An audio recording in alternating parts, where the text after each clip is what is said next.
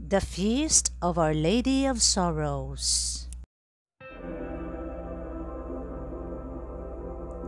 The Blessed Virgin Mary was given the title Our Lady of Sorrows.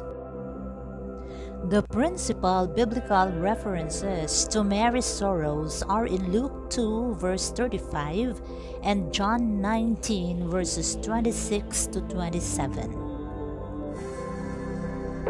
The Lucan passage is Simeon's prediction about the sword piercing Mary's soul.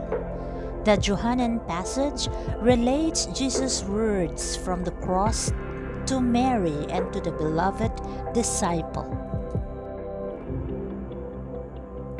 The title, Our Lady of Sorrows, given to our Blessed Mother, focuses on her intense suffering and grief, especially during the passion and death of our Lord.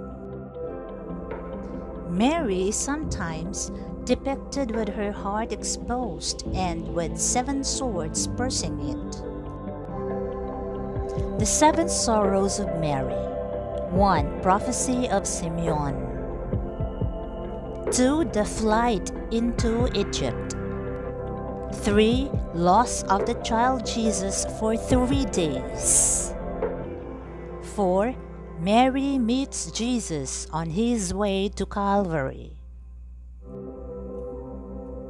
5.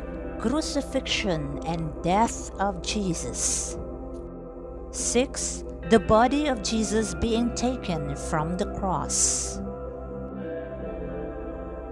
7. The burial of Jesus.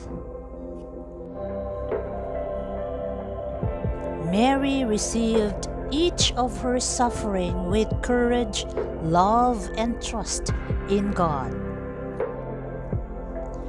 This feast dates back to the 12th century it was specially promoted by the Cistercians and the Servites. So much so that in the 14th and 15th centuries, it was widely celebrated throughout the Catholic Church. In 1668, the feast in honor of the Seven Sorrows was set for the Sunday after September 14, the feast of the Holy Cross.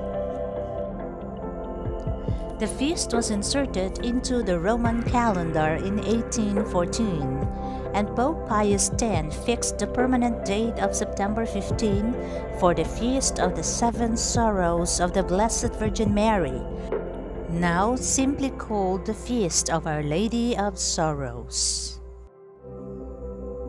Focusing on the compassion of our Blessed Mother, our Holy Father Pope John Paul II reminded the faithful Mary Most Holy goes on being the loving consoler of those touched by many physical and moral sorrows which afflict and torment humanity. She knows our sorrows and our pains because she too suffered from Bethlehem to Calvary.